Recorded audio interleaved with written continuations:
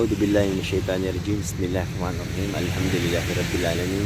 Wassalatu wassalamu ala rasulillah. Al-mabad. Assalamualaikum warahmatullahi wabarakatuh.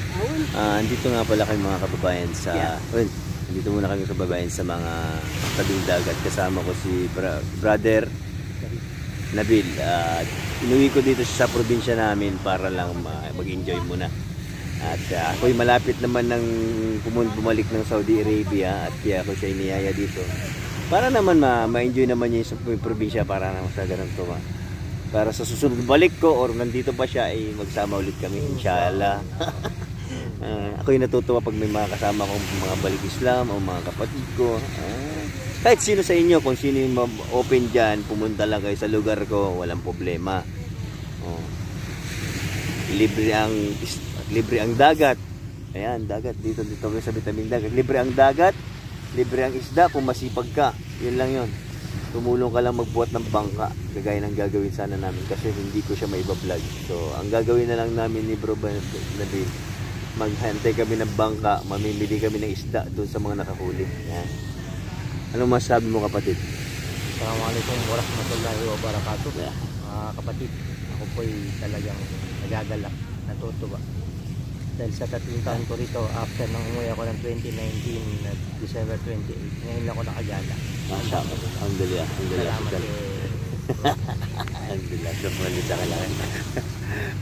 ito, ito mga kababayan natin. Yan. Mga yan, nandito, mga katambay. Meron pa dito. Ay, ah, mga nandyan.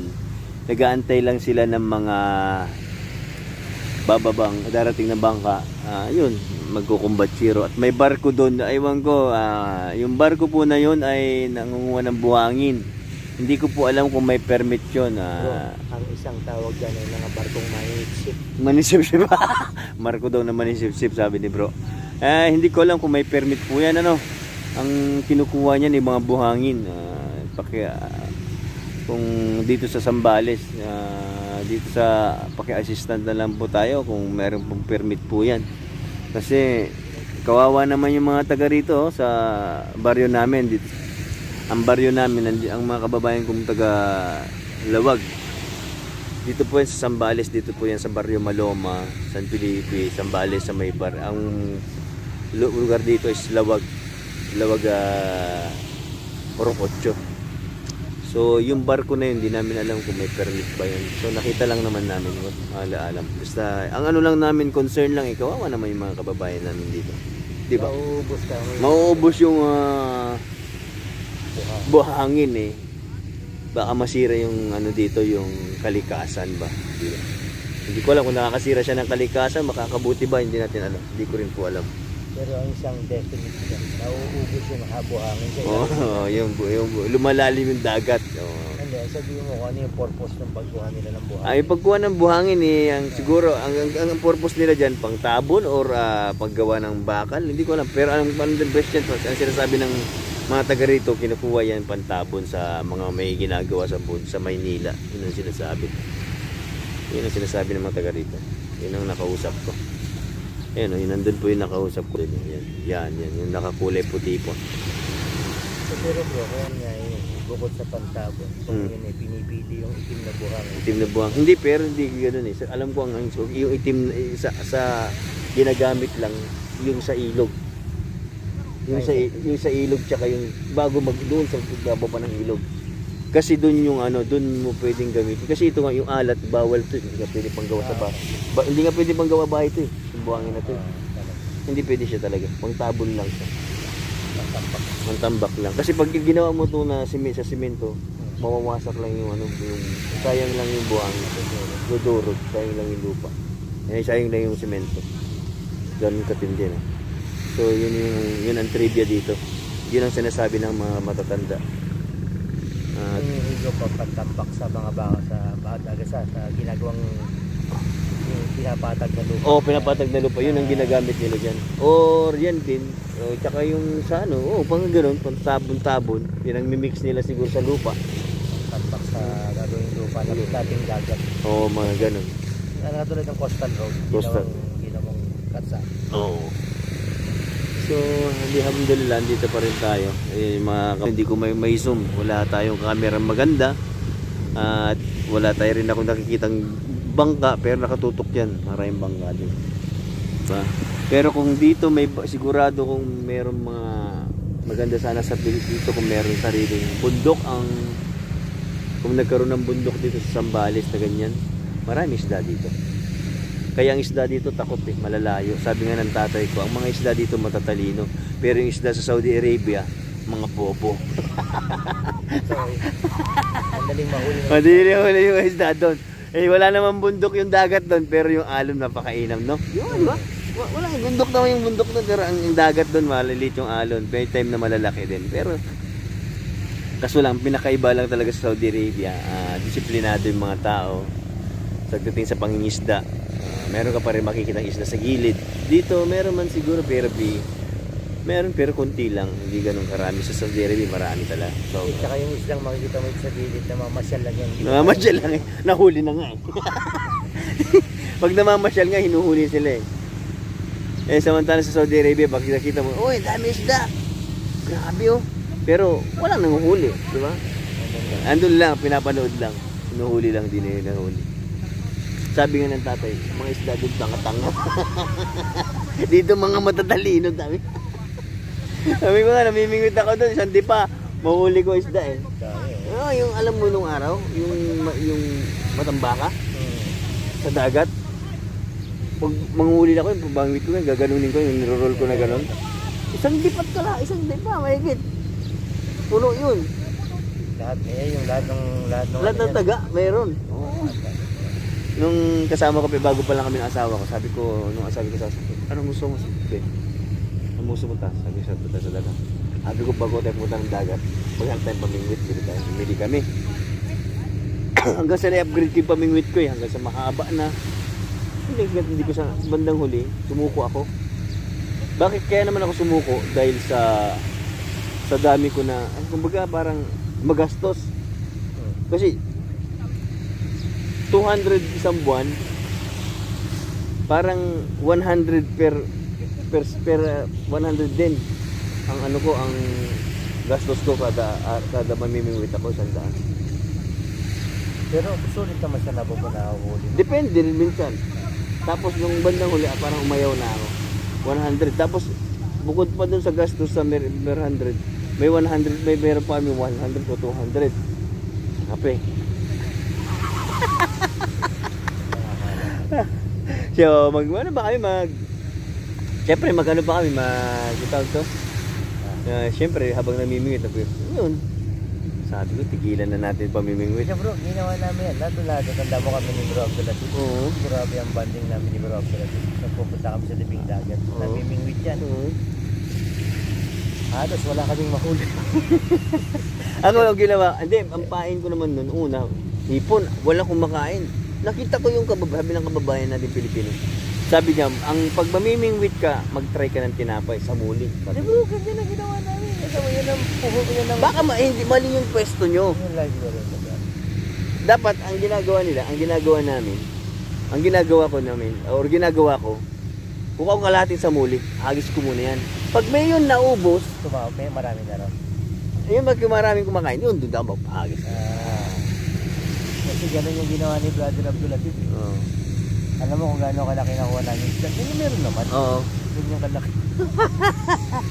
Ang lilit, grabe. Pag nahulit, buhay pa, tatanggal sa taga. Balik ka dun. Alhamdulillah.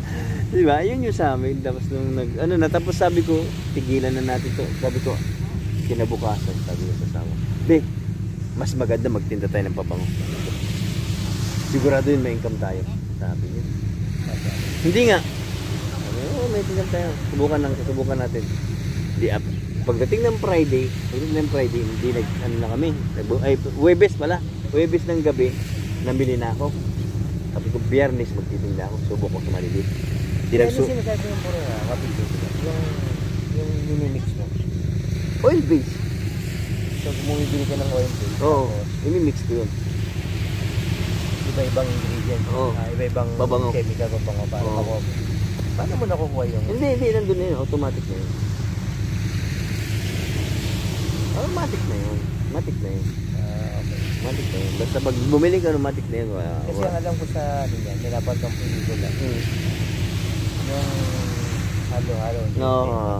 Pwede naman gawin mo ganun. Pwede naman ganun. Yung halimbawa, ilang pabango gusto. Gagtatry ka ng tatlong pabango. Ay, dito muna, dito muna sa ganito. Pag mimixin mo yung tatlo, kung maganda ang kalalabasan na amoy, Yun. pag, pagsamasamahin mo. Pangalanan mo na yan. Oo, oo, oo, anong gusto mo. Ganun. Halimbawa, the wood dayola. Oo, ganun. Send. Oo, send, ganun. Yan lang. O kaya, putot sen. Uy, meron ko na kung magawa. Ang baho talaga. Ang baho, subhanallah. Meron, meron. Ang ginamit ko Versa, uh, Versa, Victoria Versace, Sensual, ah, the Victoria Victoria Sensual at saka yung Armani Armani Oud. Oud oh, Armani Oud pinagsama ko ang bantot. Daig pa natin yung, yung daig pa yung subhanallah, daig pa yung pupo. Hold up ito nila. Oo, oh, grabe. Sobrang gasar. Ang ganda. Ang ano, ang ganda yung eh, sobrang pangit ang amoy. So, wag yung gagamitin yun ah. Pero yung fantasy at saka Amir Oud pagsamahin yung maganda. Mag-mix kayo lang konti. Nagmi-mix ako pero hindi masyadong ano, popular. Minsan ginagawa ko, nagmi-mix na lang ako. Sa galit na lang. Bahala kayo Dito kasi bro yung pabango, yung sabi yung cool water. Mm. Magkano isang ganun sa Saudi, 100 o 90, 90 yun. Mm. At dito ang mahal bro. Mga lang, 4 mil. Yung 4 mil. Ako 50 lang. 4,000 bro yung Ako benta ko 50, ano lang, 500, 600, 750 riyan. Grabe, mahal lang. 750 riyan, may cool water ka na. Nagpapabili ko ng ganyan bro. Hmm? Nagpapabili ko sa mga kakilala. Kapag-umili. Oo. Ang cool water ko bro, ano lang, oil base lang. Pero alhamdulillah, maraming kababayan natin na hikayat, bumibili. Maraming salamat sa inyo. Oo. Alam ko, sa mga customer ko, oo, ganyan. Wala akong ganyan. Cool water pero hindi siya oil base yan, hindi oil base yan. Original yan. Sa akin, di original, ano lang, class A. Pero, alhamdulillah, maganda. Ah, yung modern nga pala sa akin, pasensya na kayo at hindi ko pa yung maasikaso. Andito pa ako sa Pilipinas. Inshallah, pagbalik ko papunta ng Saudi Arabia at ako yung maghahatid sa inyo ng mga pabango ninyo. At yung mga may utang sa akin, alhamdulillah, bayaran nyo na ako. Joke lang mga kababayan. Alam ko lang magbabayad kayo. lagi naman ako, lagi naman, ah, maraming salamat pa rin sa mga reseller ko dyan.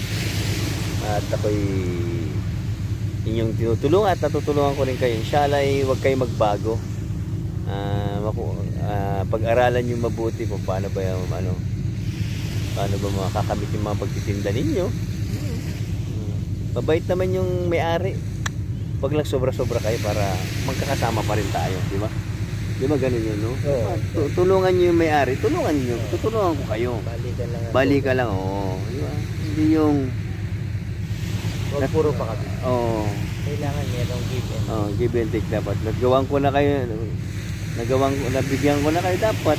Yung usapan, huwag sisirain. Minsan nasisira eh, pero ayos lang. Ah, ganun talaga sa negosyo, pero wag na wag sana. Inshallah.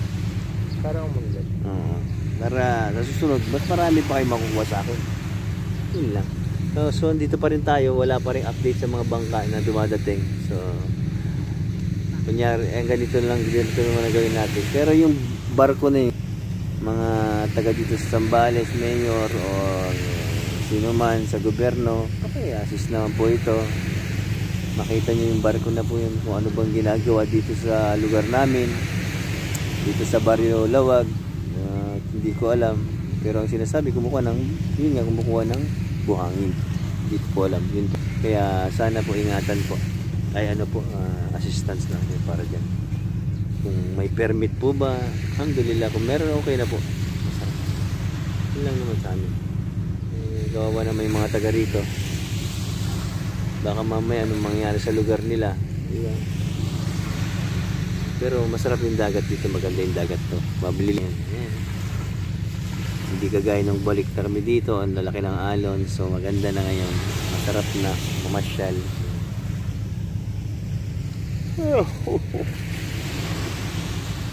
Alhamdulillah. Nakasarap to katulog ka naman maayos. Alhamdulillah. Alhamdulillah, masarap ba matulog sa bahay? Oo.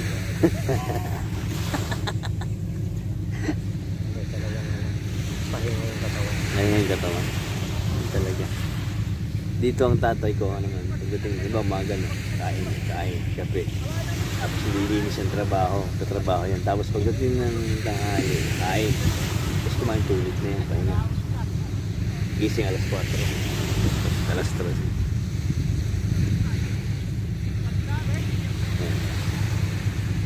So, yun lang mga kababayan. Maraming salamat sa inyo sa panonood at inshallah makapag-video pa ulit.